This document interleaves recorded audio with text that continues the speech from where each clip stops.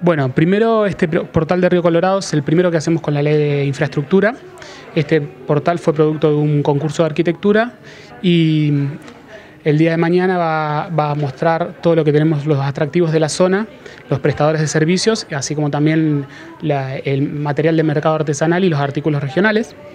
El lugar va a ser un lugar de recepción de los visitantes que visitan la provincia de vía terrestre, eh, la gente que viene de Buenos Aires a Bariloche, a la, zona atlántica de Córdoba, tiene que pasar por Río Colorado, con lo cual este edificio a la vera de la Ruta 22 va a recibir y va a informar a todos los, visitantes.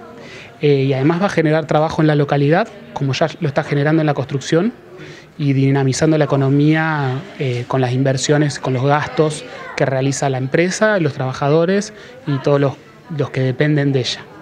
Así que es muy importante ahora y es muy importante después porque va, a generar trabajo fundamentalmente. Ayer justamente certificamos un avance del 22,5%. Eh, ya hicieron todas las instalaciones sanitarias, las fundaciones y la platea. Esta semana ya están levantando los muros y se calcula que a primer al fin de semana vamos a tener un metro de altura ya en los muros.